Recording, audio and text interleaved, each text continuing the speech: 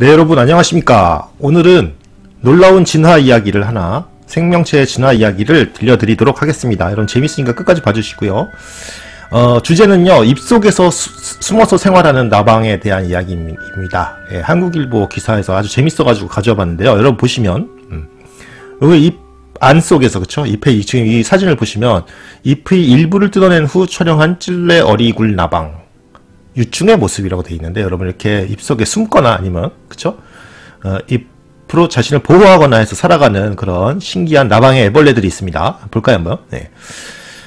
여러분 산길을 걷거나 공원을 산책할 때 주변 식물의 잎을 잘 관찰해 보세요. 가끔 식물 잎에 누가 낙서한 것처럼 반점이나 선으로 된 기묘한 무늬를 발견할 때가 있다.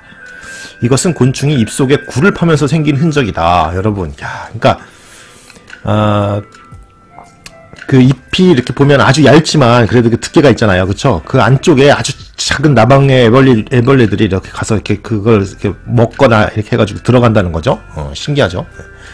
네, 식물의 잎에 굴을 파는 애벌레를 영어로는 leaf miner, 한자로는 잠엽성 유충, 네, 잠엽성. 그러니까 어, 잎에 그죠? 잠 저기 잠수하라 할 때 잠자잖아요, 그죠? 어, 잎으로 잎에 잠기는 그런 유충.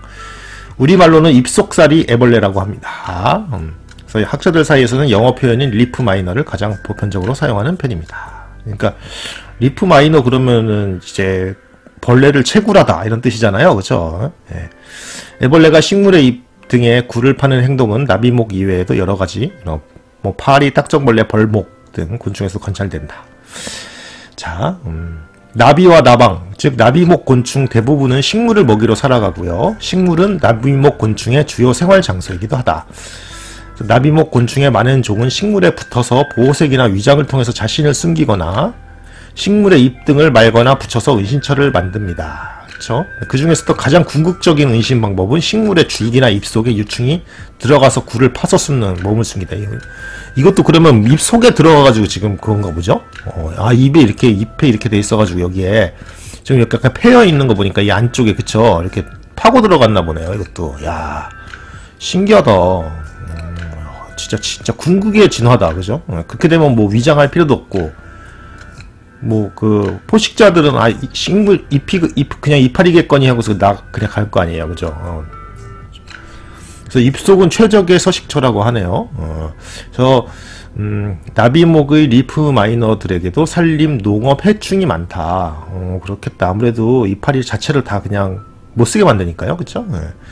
그래서 기주식물의 잎을 직접 갈, 갈, 갉아먹지 않기 때문에 겉으로는 얼핏 보기에는 별로 피해를 주는 것 같지 않지만 예, 특정 종이 대량으로 발생하게 되면 전체 나뭇잎에 피해를 준다. 아, 특히 과수농가의 과일이나 잎의 표면에 눈에 잘 띄는 흔적을 남겨서 상품의 가치를 크게 떨어뜨리기도 한다. 그렇겠네요. 사과 같은 것도 상처 있으면은 그 누가 뭐 상품 가치가 현저히 떨어지니까 그죠? 네. 아 그래가지고 이런 거 보시면 이렇게 되네요, 그죠? 식물의 잎을 안쪽에서 이렇게 파고 들어와서 아 이게 저도 이런 거 본 적이 있는데 이게 뭐 썩은 게 아니라 그죠? 이게 그 저기 그 유충 같은 게 들어가가지고 먹어서 이렇게 되는 거군요. 야, 그것도 속 안에 있는 아, 맛있는 부분만 긁어먹네. 예. 그래서 어, 나비목 곤충의 애벌레는 식물의 바깥쪽에서 잎을 갉아먹기도 하지만 어, 약 30과 정도나 되는 나방류가 굴을 파서 생활한다. 어, leaf miner 종류라는 거죠. 어, 어, 그래서 립 주, 곤충의 주요 4대 목 중에서 leaf miner의 종 다양성이 가장 높다고 한. 와, 그러네. 신기하다, 진짜. 그 굉장히 생존에 아주 좋은 전략이라는 거죠. 그죠? 어. 그리고 또 굴의 형태는 분류 군과 종에 따라서 또 독특한 모양을 하고 있어서 전문가는 이 그 어떻게 손상되어 있는지 그쵸? 그런 형태들만 보고도 어, 속등을 파악할 수 있다. 그리고요, 이 여러 가지 지금 과 지금 나방의 과들이 이렇게 많은데 대부분의 과들이 어, 저거래요. 애벌레와 성충 모두 크게 아주 매우 작대요. 어, 그리고 또 원시적인 분류군이 많다고 합니다. 자, 그렇다면 이들이 왜 곤충 속으로 들어갈까요? 바로 그것은 굴 속에 들어가면 천적으로부터 자신의 몸을 감출 수 있다. 이건 당연하겠죠? 또한 식물의 잎이나 줄기 속 조직 자체가 먹이가 된다. 그렇죠? 어. 그리고 또 굴 안은 온도와 습도의 최적화 변화가 적어서 이제 이제 그쵸 아주 좋은 음, 거다. 어. 생활 장소다. 그렇죠? 어. 그래서 이파리에서 월동하는 종류도 있다고 합니다. 와, 진짜 신기하다. 그죠? 어. 그래서 종류에 따라서 굴 모양도 제작각, 제작각, 제각각인데, 불, 보통 이파리 안에 들어가 있어야 되니까 머리와 몸이 아래 위로 납작하게 돼 있는 경우가 많겠죠? 그죠? 그리고 머리 부분이 몸보다 발달해 있고 잎은 앞쪽을 향해 있고요. 다리는 매우 짧다. 어, 그렇군요. 그래서 어, 아래서 부화한 어린 애벌레는 식물의 잎줄기나 과일 같은 식물의 조직으로 들어가서 굴을 판다. 근데 이제 처음에는 조그맣다가 크 기가 크실수록 더 이제 커지겠죠. 그 결과 줄기에 줄기나 잎에 여러 가지 모양의 선이나 반점으로 굴의 흔적을 남긴다. 그렇죠. 어, 신기합니다. 그래서 이렇게 여러분 이렇게 그, 이거 배설물인가 봐요, 그죠? 배설물 여기는 이거 까만색은 그죠?